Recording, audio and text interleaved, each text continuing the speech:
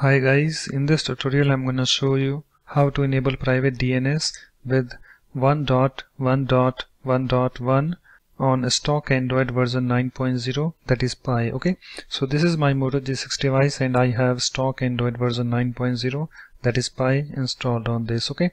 So let me show you first okay? So let me open my uh, settings app okay? Uh, let me scroll down at the bottom and here I have this system. Let me tap on this okay? And let me tap on this advanced. Let me scroll down okay? And here you can see updated to Android 9 and I have a Moto G6 device okay? So let me close the settings app okay guys? So let's enable private DNS with 1.1.1.1 on this device okay? So first of all uh, let me tell you that uh, Android 9 that is Pie only supports DNS over TLS okay? So let's enable that. So just open your settings app. So let me open mine. So here is my settings app. Let me tap on this to open it. It's opened. And after that you have to tap on this network and internet okay? So let me tap on this. And after that you have to tap on this advanced. So let me tap on this okay?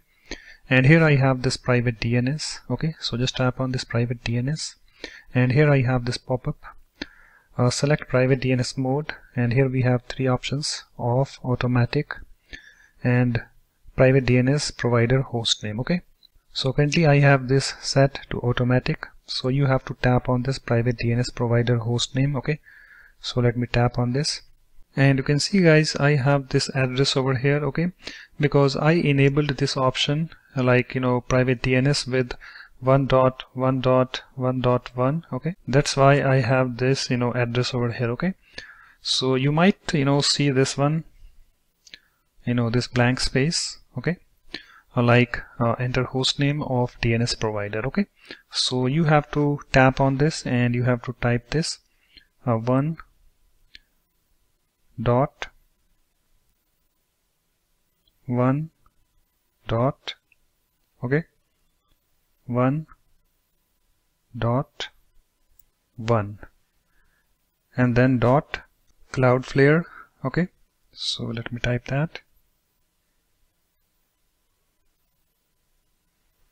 Dash dns dot com okay?